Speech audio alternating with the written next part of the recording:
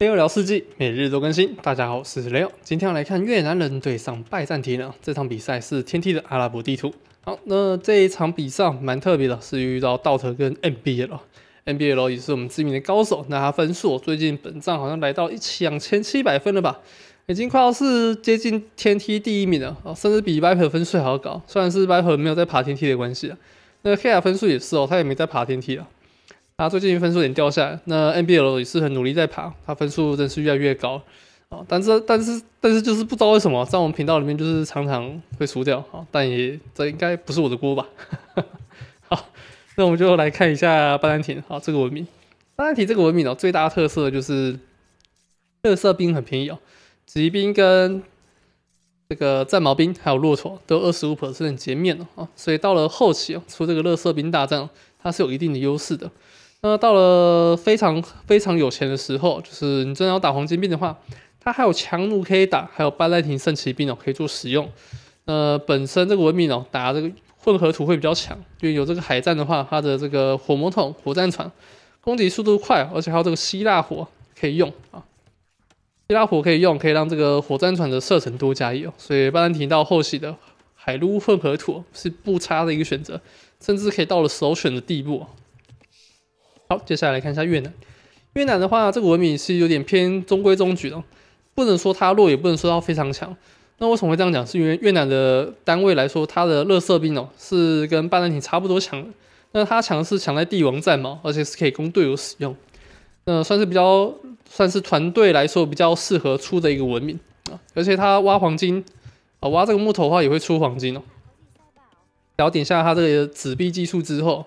越南人伐木头就会产出黄金，其实蛮可观的。那大约就是你只要捡到五个圣物，再加上四十个伐木工的话，就等于七圣物的概念了啊。每二十个伐木工等于一圣物的黄金量啊。所以越南人打到后期，黄金算是蛮会跳动的。所以有些人玩竞技场会想要练一下越南人啊，就可以打一个特殊的打法，打一个无限黄金战术。反正竞技场木头就是多嘛，对不对？所以我觉得这场这这场比赛对决蛮值得看一下哦，因为两边都是乐色兵大国啊，一个是减免大国啊，一个是特化乐色兵大国哈。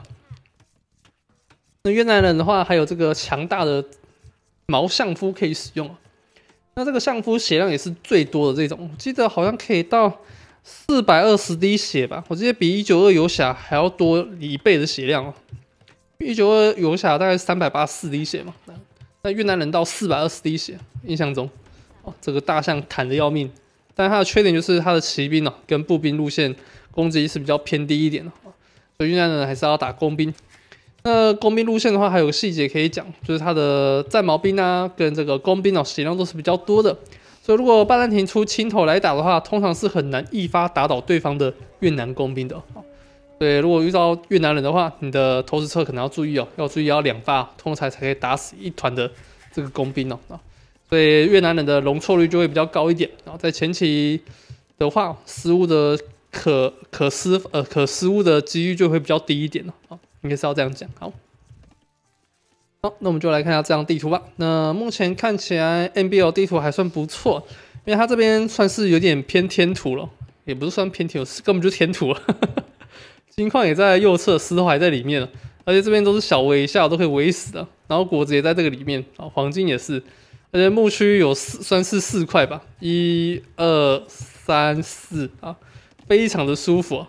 那除了路比较远一点之外，也没什么太大问题。哦，这边直接往下围到死，或者直接往右侧围啊，也 OK。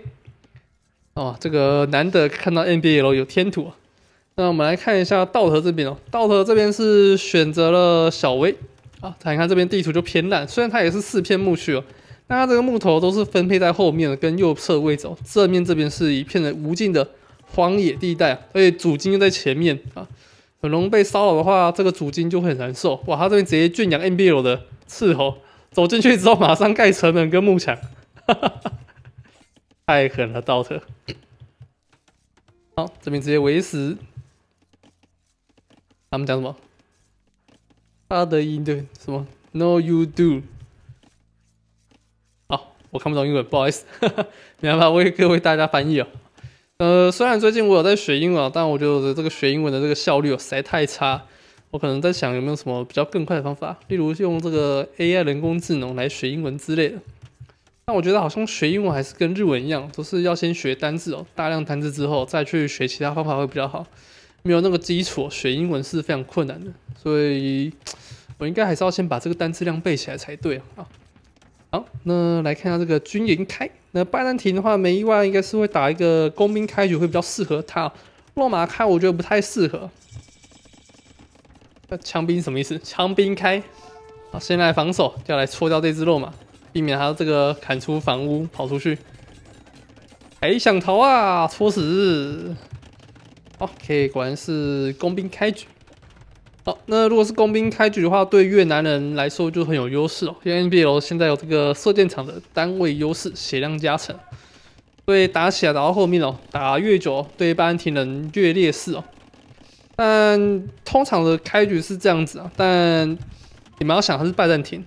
毛兵其实蛮便宜的，说裂好像也不会裂到多裂啊。但如果你要讲说一波交战的话，一定是越南人有优势嘛。但如果打持久战的话，可能拜占庭是不会输的哈。我现在讲话都很小心诶，很怕，很怕没有讲清楚，要被人家讲说说什么东西。越南才没有那么强，你是看不起我拜占庭？乐色兵减免费用是不是之类的？就就可能会出现这种留言。好，那拜占庭这边是直接要升级到了城堡时代。这只狮子应该高打低，搓掉。哇，直接打直城，拜占庭打直城，我想一下有什么太大优势吗？好像也没有。不然就是打一个速地吗？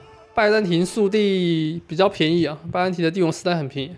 啊，你看这越南人的血量三十六滴血在毛兵对上三十滴血，直接硬生生多了六滴血。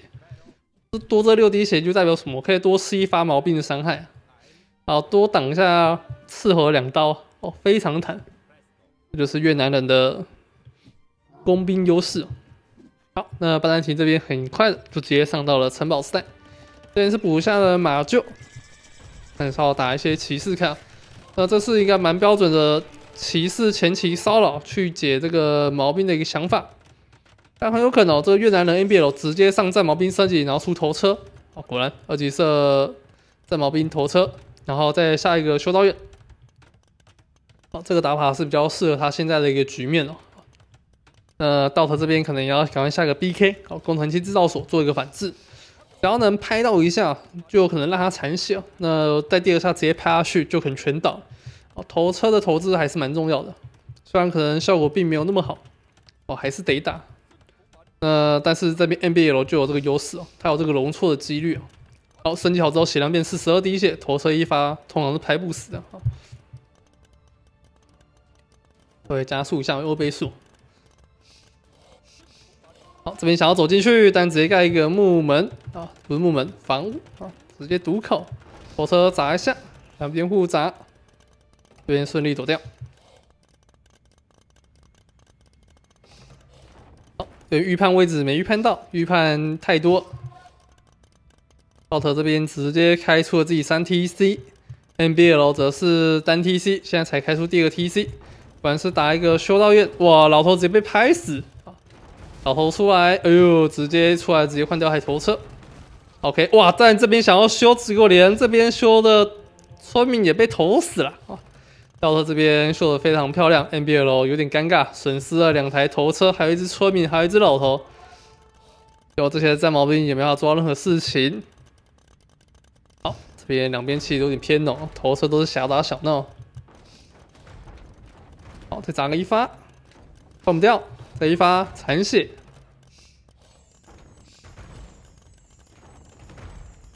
右侧这边能再继续深入吗？这边战矛兵到下方，但这边由于道特这边右侧地图围的还不错，并没有太多破绽，而且房子都很坚固，没有幕墙那种很好解的。好，这一只枪兵走了进来，想要直接硬戳吗？好，这一戳穿，画面直接换掉。哇，这边换的非常漂亮。好，城堡一好，应该可以守住正面。这边头车操控就操控性就没那么大，反而再开出第四个 TC 继续浓。NBL 决定要来打右侧，这边有一个洞哦，这个洞有围好吗？看起来是有。OK，那这个房子破就会进来。哎，看果然还是有洞啊，是不是？像这个树木跟房子距离是不是有一个洞的感觉？看起来是有。好，这边直接被戳破。头村射一下长枪兵，先把对方头车解决掉就没问题了。好，这边道特直接按了几只拜占庭圣骑兵，贴到后方。哎，这边直接硬敲吗？长枪兵看起来是。好，看下这个头车砸一下，残血，继续躲，再一发砸到，哇，高打低，直接砸烂，没办法，高打低的话，连这个越南的毛兵都承受不住这个巨巨量的伤害啊。这就是为什么我一直说高地的 BK 是有相当的威胁力，就是这个意思哦。跟高地的工程机制造所一出来投射，拍下去绝对是头破血流。对我们之前那个 Viper 那支影片哦，为什么对方不敢直接硬上，就是这个原因，很恐怖的。小贝拍过一次高打地的投车啊，下次就不敢了啊。好，后面补下更多农田，哇，稻头这边偏农哦，把这个农田直接往左扩了。好，这边 NBL 补下正面的城堡。但村民差距有点多，差了三十寸。你们看前期没有优先开下 TC，然后在前线是盖 BK 跟修道院，然后前压对手，然后战矛兵按太多，然后对手是一个不怎么出兵，然后直接开农，然后用少量投石车，然后用建筑学围住开农防守的一个玩法，那个经济差距是如此的巨大。好，那到头这边可以点一下帝王时代，资源量已经够了。这就是为什么我很推荐大家是打一个偏农的方式哦，会比较适合的原因哦。当然强军是是很可以快速收掉对手的，尤其是在低分段的。但是你长期这样打强军式的话，其实很难爬分的。你只要遇到会农的玩家，基本上你就完全没胜算啊。你打强军式的话，可能对手还有还比你更会强军式，有点五五开。当遇到你会农的玩家的时候，你基本上胜率是飙到几乎是快要零 percent，几乎是赢不了会农的玩家。所以。还是练偏农的玩法吧，啊，不要练那种强军式，像 NBL 这样前压的，很容易就会压出事情来的。好，这边投石车直接打爆城门，直接要来入侵了，这些房子可能也挡不太住。好，这边也 NBL 补下一栋城堡，想来守住正面的这一块区域哦。这里有个天然的屏障哦，两块木区，这边稍微围一下盖个城门，哦，还是一个不错的出出门点。那右侧这边直接被入侵进来，有点麻烦。大单型圣骑兵现在是有九攻，还没有点下这个三级二反还没有点啊，所以现在被 TC 射很痛，看这射到头破血哦。这就是八连体圣骑兵比较弱的地方，比骑士还要少一防，一元防。嗯。城堡直接不好，但 NBL 打的是藤甲工兵哦。藤甲工兵的话，打这个巴兰提圣骑兵伤害是蛮高的，因为它本身这个步弓伤害就是偏高，六加二，比弩兵还多一攻。好，但是这边巴兰提已经升好，NBL 这边也升到帝王时代，两边都帝王时代，都点下三级一射。哇，这边梯子直接被炸烂。好，这边巴兰提圣骑兵可以进去吐个一波，没有问题。直接收掉一些残血的村民，但是 T C 这骑兵很痛，直接收光。看起来是收掉全部的骑士，那三台头车应该是在劫难逃，在逃难解，在劫难逃。好，巴兰提这边也出了一些战矛兵，要打乐色兵的话。道特表示他是不会输的，啊，但越南有这个帝王战矛可以用，那就要看 NBL 要不要搞完早早升级上去哦。这个帝王战矛，好，这边战矛兵直接往前送，反正我便宜，直接打你村民，啊，修修城堡村民，好，直接逼走，哦，这样投资确实蛮划算的。OK，直接让对方无法守住，直接砸光。好，但 NBL 这边很四项的升级中型投石机啊，对，没错，打在毛兵出中投就对了。还点下化学可以化学增加藤甲工兵的伤害。那像藤甲工兵遇到这些热射兵就很难受，看热射兵这么的好用，在毛兵无双，OP OP。好，热射大队直接前压，中投升级好，里面有一台要出来先拍一下吗？全倒碎了，打了一发，哦，倒个半只，好，升中头就是舒服。好，但我们刚刚说啊，这个拜占庭圣骑兵工兵抗剑士能力太差，嗯，又差一点，这一发，我这这么秀的吗？一定要用战矛秀吗？我看着我有点。又中了，我就知道啊！果然打战矛就是要出头车啊，不然要干嘛啊？记得要升级啊！啊，升级的话会比较好用一点啊。好，NBL 这边稍微反打了回去一点，但这里没有控好，直接吃到城堡伤害，虽然拆掉一台巨头，我好险啊！中头血量比较多，拉了回来，不错不错。这边 NBL 头车反打非常漂亮，直接砸光大量战矛兵。即使是拜占庭哦，这也是有点小小亏损了一点好，右边经济再稍微补一下。这边走过来，直接开打吗？哇，直接战矛弄爆我们家后面。哇，这里很难受啊！这里要不要派中头回家？走一下，中头能回家吗？有两排在追，拍没拍到？这里第一时间没有预判到，但中了一发。OK，带头走个路径。这是什么输压片啊？好输压啊！这个头车砸战矛，那怎么感觉越砸好像没什么感觉啊？战矛兵真的太便宜了。巴兰提表示：“你就砸吧，反正他是我不要的兵。”好，直接被砸掉，就战矛腾出人口。转出了精锐拜占庭圣骑兵的升级啊，这个是一代最强的骑兵哦，结果在二代是拜占庭的保兵啊，相当有趣这个设定。好，点下了二攻，那拜占庭也只有二攻而已哦。但如果对方转出骑兵来的话，对拜占庭来说是非常好好的一一件消息啊。边拜占庭圣骑兵打步兵伤害是非常夸张的，好像十二攻吧，还十七攻的样子哦，敲一下十七滴，呜，痛。好，这边转出火炮塔，哇，拜占庭转火炮塔是什么画面？直接插爆你的 TC。好，左边这边左右开弓，但这边也被 M B L 侦查到，直接拿村民开扁，但是要拿村民直接扁火炮塔吗？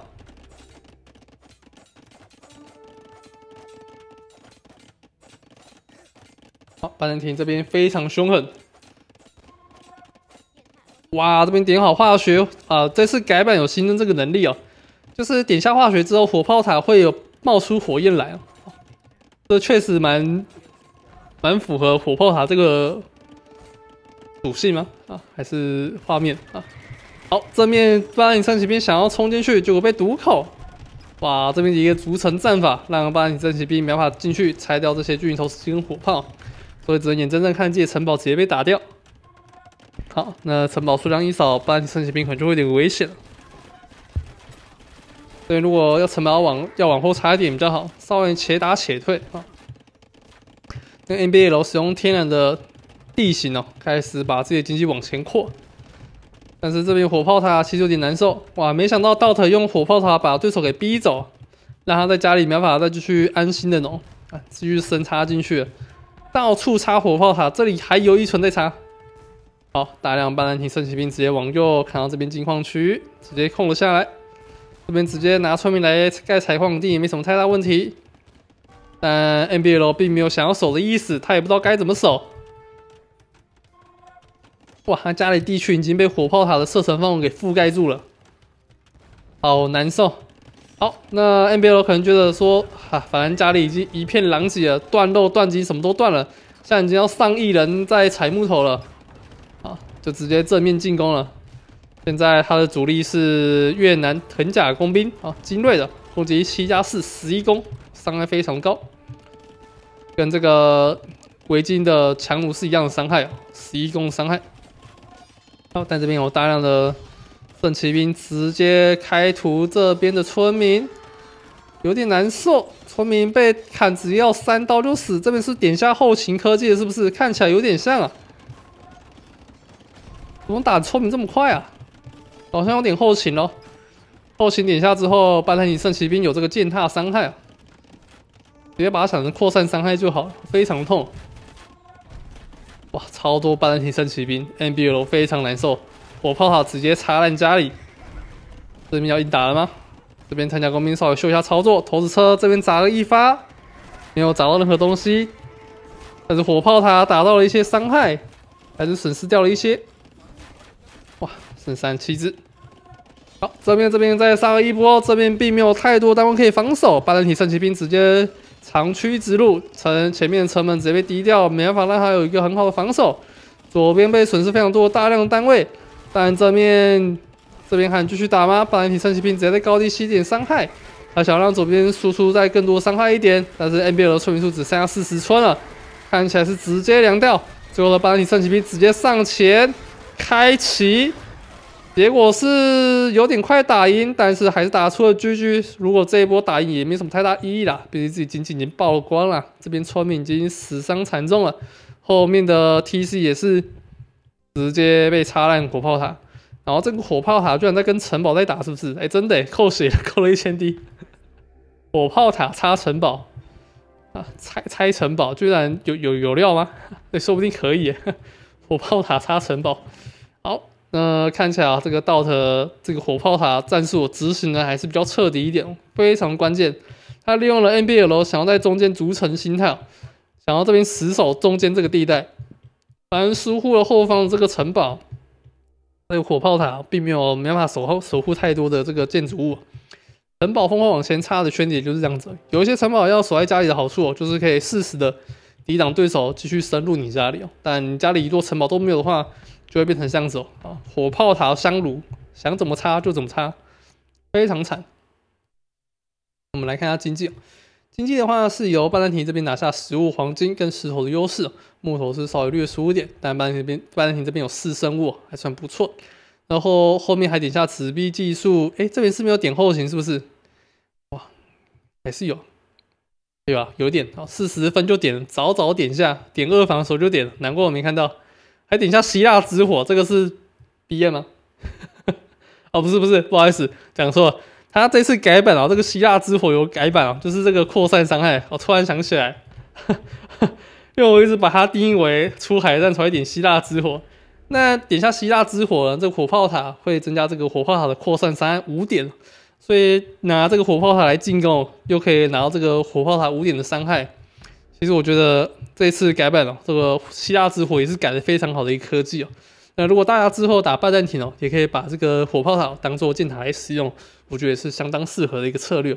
而且拜占庭的这个建筑物显然又够多，所以火炮塔也不太好插啊。一根建一根火炮塔就三千多滴血，其实投资成本来说算是蛮高的，并不会太差。好啦，那我们今天影片就差不多到这了。那如果喜欢这支影片的话，请记得帮我下订阅。那我们就下次再见喽，各位拜拜。